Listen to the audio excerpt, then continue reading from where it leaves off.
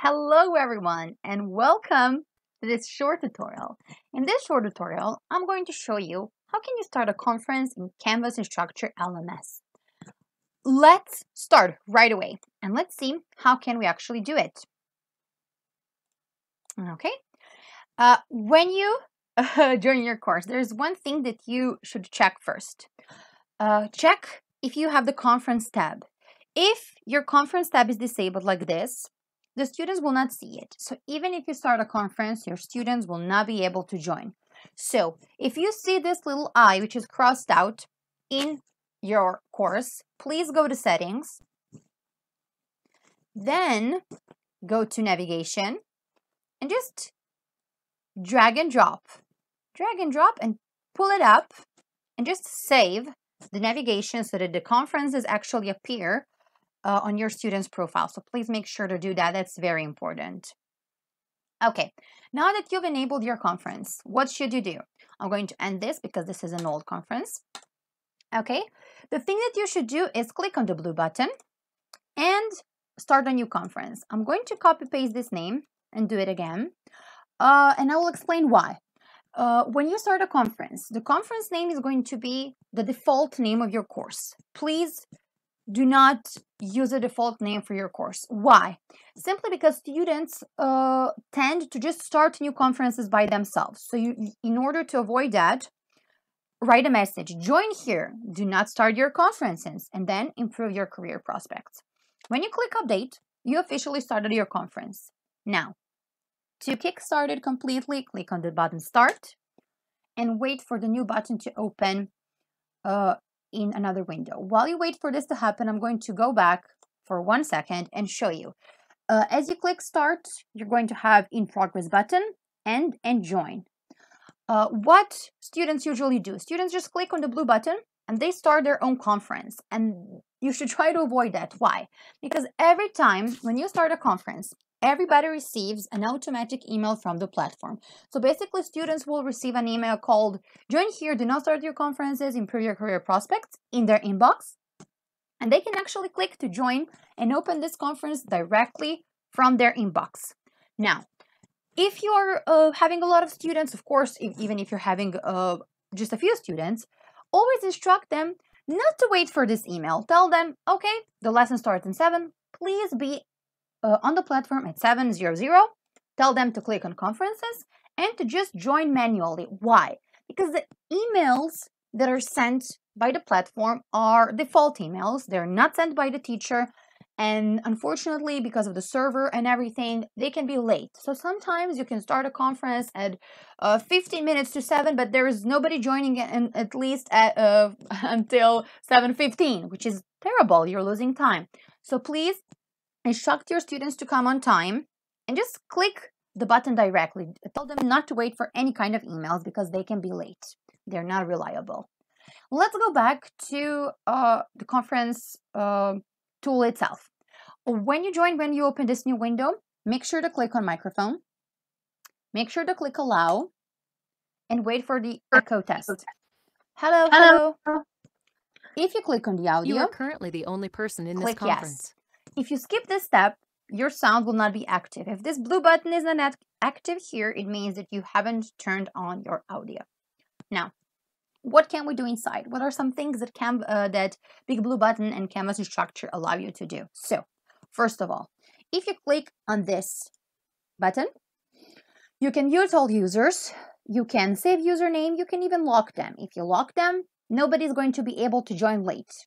That's something that uh, I usually don't do, but if you want to lock the classroom without other people being able to join if they're late, that's your favorite button. You can create breakout rooms. Uh, it works pretty much the same as every other conference tool. Let's test it out. Number of rooms, two. You can even make up to eight rooms here. Uh, what I love here is uh, the duration option because we don't have this in other uh, in other uh, tools. So you can set the time for your uh, breakout room, and that's amazing because after this, uh, the students will automatically go back to the regular room.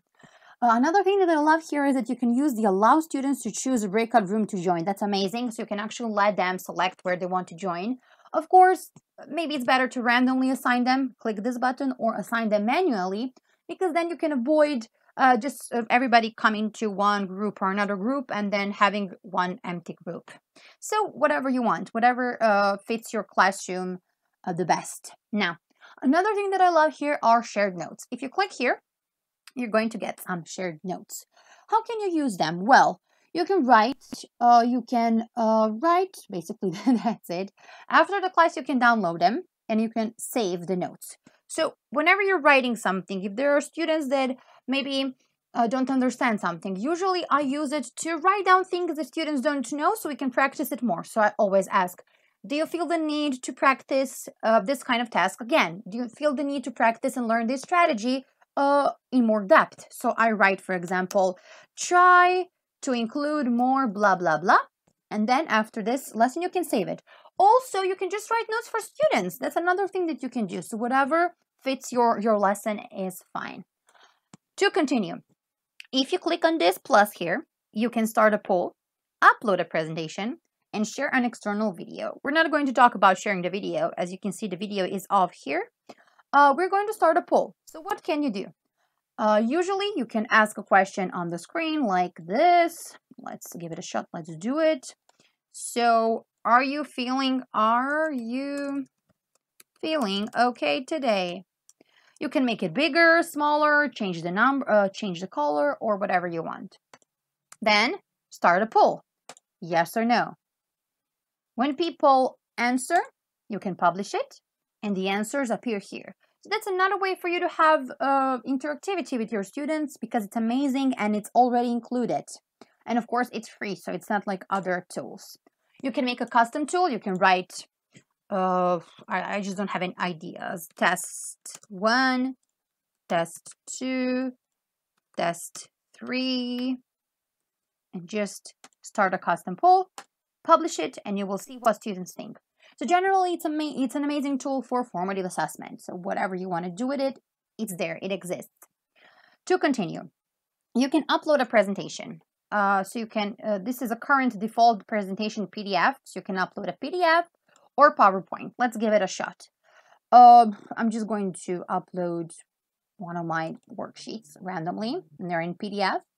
So basically, you can use whichever you want. Uh, you can use uh, PDFs as well. If the PDF is big, it's going to take some time to upload. Unfortunately, this one seems to be large. So we're going to wait for it to be um, uploaded. While we wait, I just want to tell you that you can uh, allow students to download it or you can disallow students to download it if you want to protect your lesson materials, which I often like to do. Uh, as it uploads, yes, we're going to keep waiting. I'm sorry. Uh, this is useful if sometimes you have issues with sharing your screen. Sometimes sharing uh, your screen can fail, so you can upload it. But make sure that your internet is good for this because it can take a while for it to upload. And I have a very fast internet connection. So now it's converting it,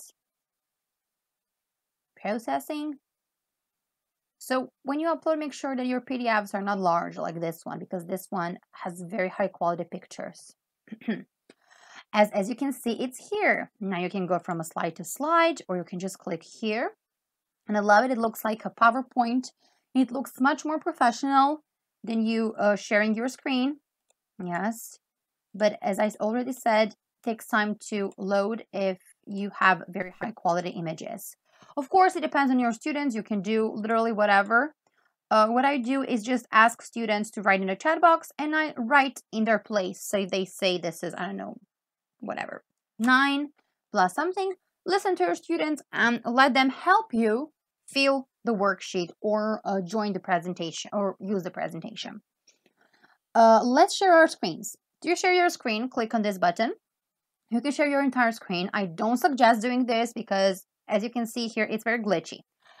Uh, you can either share an application window uh, or share Chrome tab, which I urge you to do because you're sharing basically just one thing. So I'm going to share one of the pages that I have in my browser, which is this website. So basically, when you share this one, the students see only that screen. So as long as you see long as you share one tab, this is the only thing that your students see. And if you have another task to complete where they're doing something, you can freely open the task and go anywhere. Uh, and of course, it looks, it looks again, more professional. To stop sharing, just click on this button. And as you can see, the default presentation is going to come back. Uh, to check other options, you can click on settings. Let's see what we have there. So you can uh, disable all of this. Why? Because definitely works better for everybody. Put the font to 100%. You don't want pop-ups, you don't want audio alerts, you don't want none of this because it is very distracting, trust me. So disallow all of these things or you're going to go crazy. Basically, that's it. To go to data savings, uh, again, I urge you to click off and I urge you to click this as well. So if uh, you're having a lot of students, for example, 50 people, as I do in my classes, uh, you need to disable webcams because students sometimes have difficulties turning them off and it slows down everything, literally everything. Uh, again, if you write something, pardon me, if you write something, uh, you can save everything. So every class can have saved chats. You can see exactly what everybody wrote. Uh, another thing that you can use this, and this is what I love, I love this one. So, uh, of course, you can do the activity by yourself, or you can just click this button, which says turn multi-user whiteboard on. What happens then? Then if you have people, you can see their names and everybody can do everything on this page. So everybody's going to be able to write. So if you do this, make sure that you have uh, an activity which is meaningful. So don't just let them scroll around. Uh, that would be all. Uh, when you want to finish, uh, it's not, uh, you can just click uh, end meeting. You will disconnect everyone, close the window, refresh just to make sure that you ended it, and click end here. When you click it, it is going to go to your uh, to your old conferences. Now, another thing that you want to do is go to settings. When you're not having classes, always drag and drop the conferences back down. Why? Because students are students. They're going to click to, to test it out. And if they just click to test it out, if they click on start here, the blue button, everybody's going to get a spammy email. So try to disable it when you're not having conferences. Thank you for listening. Uh, that would be all. See you in another tutorial and I wish you luck in your online classes in Canvas.